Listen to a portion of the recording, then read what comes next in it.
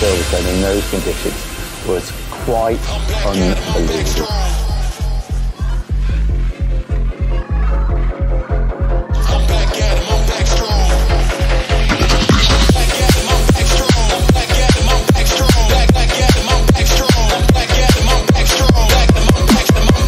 I think in many ways he sort of uh, erased the memories of losing out to Valentino Rossi.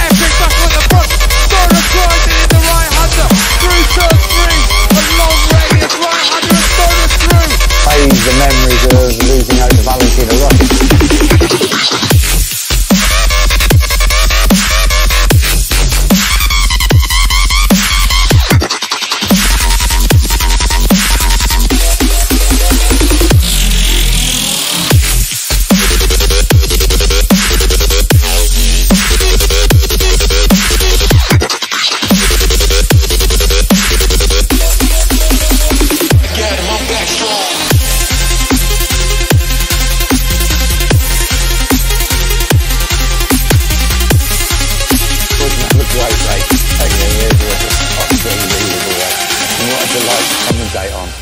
Thank you, Casey.